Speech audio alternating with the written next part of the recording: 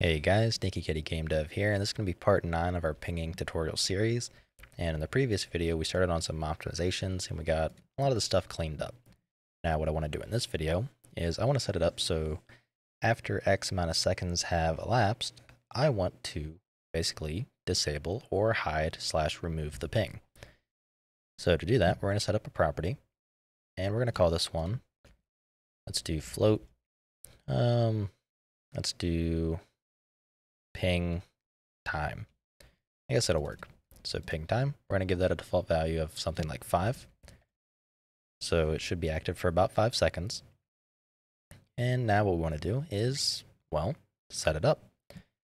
So no matter what, set active is going to be kind of handled by the server. Well, client as well, just for the sake of responsiveness. So what we want to do is set it up so if we have authority, we want to set up a timer to basically disable be active. So set it to false. So here we want to do actually two checks. So if B is active, or be active is true, and we have authority. So in here, we want to F timer handle. Let's just call it T temp because it's just a temporary handle. Get world, get timer manager. Want to set timer for the temp handle this and we want to pass in the function. So we need to create a function for it. So I'm just going to do void. Let's do a ping time elapsed. And create the definition. So that's going to be our function. So we can pass that on in.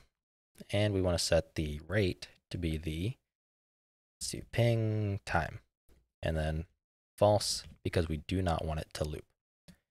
So that's going to eventually trigger this function here. So what we're going to do is set be active to equal false, and then simply call on rep active. That's it. So that way it'll take care of it for client and server.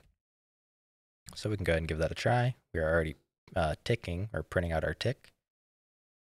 We have it set to five seconds, so let's just hit play. I go ahead and I ping. Maybe I removed the, uh, I think I removed the print, did I? Okay, yes I did. I don't know why. Uh, let's just call it ticking. I just want to confirm that it does in fact disable tick, but uh, it based on what it's doing, it really should. All right, so it's spamming ticking. Wait for it to just disappear. It's gone.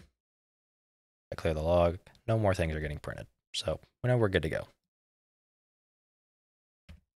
All right, so not worried about that. What I am worried about is the timer. So we actually are going to want to probably make reuse of this. So basically, every time you ping, you'll, you'll actually I can just show you right here. So I'll play with one client for the sake of ease of use. So what I'm gonna do is I'm gonna ping one Mississippi, two Mississippi, three Mississippi. I ping again, one Mississippi, two Mississippi. It didn't wait until the full five seconds. It cleared out itself earlier. And it also has multiple timers kind of being running because where you're using a new handle each time. So we want to store this handle. So let's go ahead and move it on up. So let's call this one t ping time. And that is going to be the handle we use. So now, let me go and run live coding. Anytime we call set timer for this handle, it is going to basically clear it out and reset it. So when I ping now, one Mississippi, two Mississippi, three Mississippi, one Mississippi, two Mississippi, three Mississippi, four Mississippi, five, you can see that it actually reset the timer. So that way, instead of, you know, constantly uh, kind of having weird intervals, you have a consistent one. So we can spawn. All right, client is not spawning, server is.